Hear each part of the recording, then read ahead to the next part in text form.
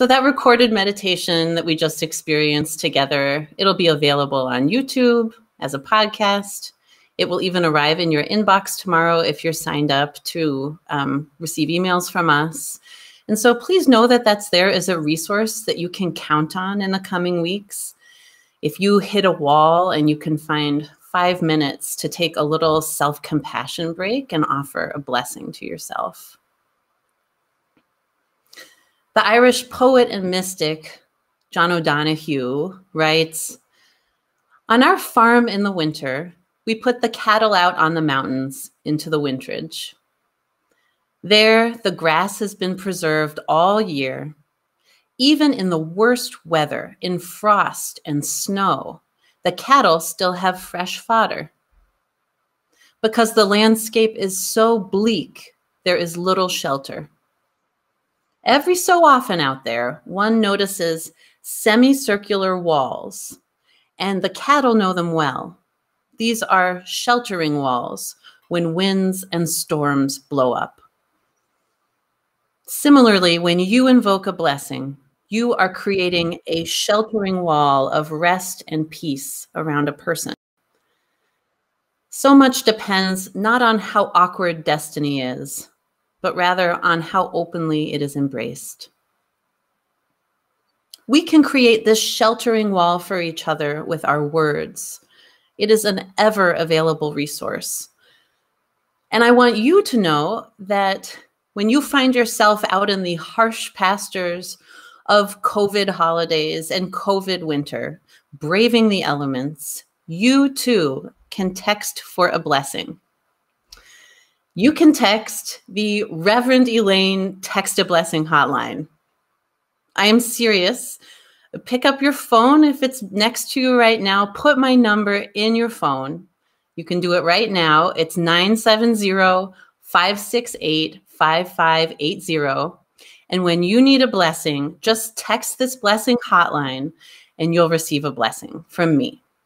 And if you have a specific request, just let me know. We create sheltering walls of blessing around each other with our words and also with our deeds. In acts of kindness, we offer each other blessing. We've been talking about the kindemic this morning, this, these acts of sweetness and connection that are spreading all throughout northern Colorado. And I'd like to share my kindemic story with you. As a staff person, I had the honor of starting one of the kindemic strains. Now, of course, you don't even have to be the recipient of a strain to uh, embark on your own kindemic journey. You can just go for it as soon as you want. But to get things started, Katie Watkins, our Director of Finance and Operations, Katie went out of her way to personally drop off a special journal and some instructions for me at my house in the late afternoon one day. And after this quick handoff took place, Katie could have hopped right back in her car. That's what I expected her to do.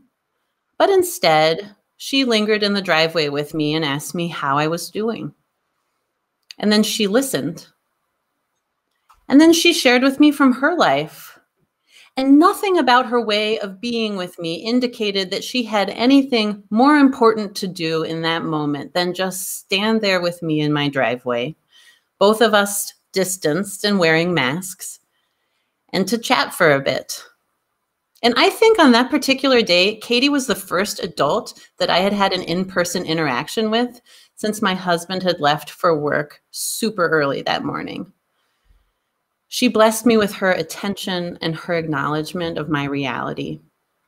Her blessing shone light on my interconnection with all things, which can get a little dim when you're inside your the COVID fortress of your house all day long. And I was left feeling hopeful and feeling enlivened. These moments of connection, they matter so much right now. They matter tremendously right now. Hafiz writes, Why not become the one who lives with a full moon in each eye, that is always saying with that sweet moon language what every other eye in this world is dying to hear? Friends, why not? Why not become that person who's always handing out blessings by saying something that someone is dying to hear. These are not complicated messages. They don't even have to be verbal messages.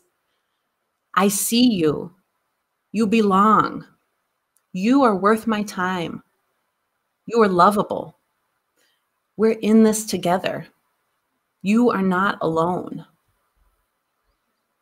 In this Thanksgiving week, see where you can just tuck in a blessing into an exchange. Sneak it in at the end of an email or a letter that you're writing.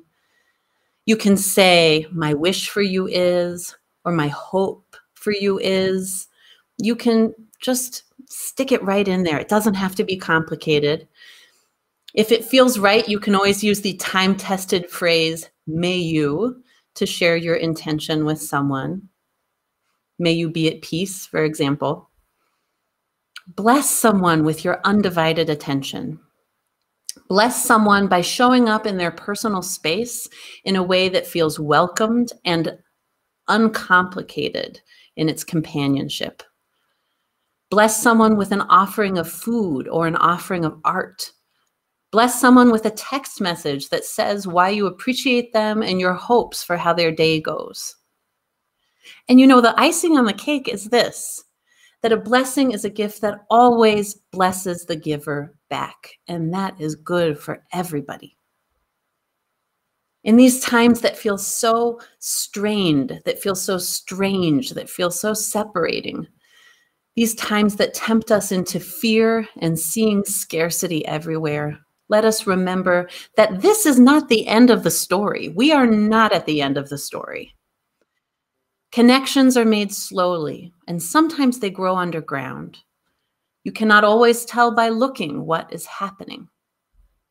Let us build ourselves up and build each other up with blessings, weaving real connections, creating real nodes, tangling and interweaving, and taking more in to feed a conspiracy of kindness.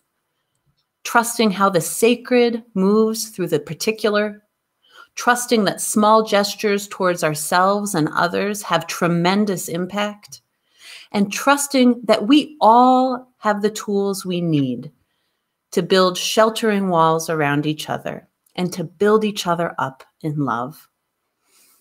May it be so, and amen.